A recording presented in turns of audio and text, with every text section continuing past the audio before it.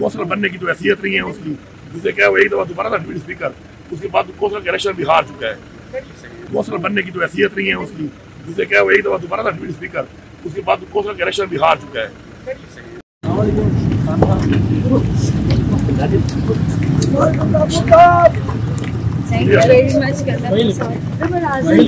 नगूर साहब गवर्नर साहब कहते हैं आपको मैं सीरियस नहीं लेता।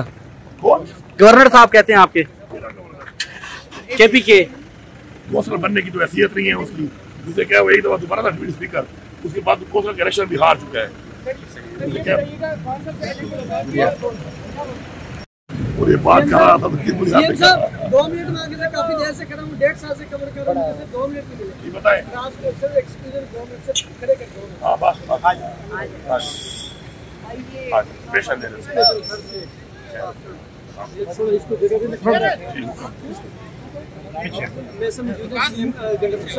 सबसे मुलाकात हुई है क्या कहा है?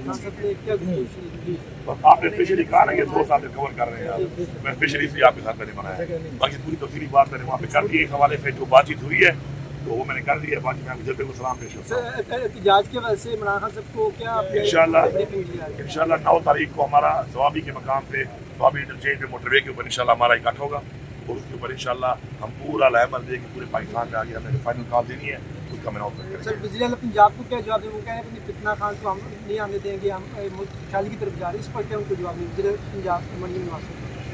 मैं यही कहूँगा कि कच्चे के डाकू कंट्रोल नहीं हो रहे उधर।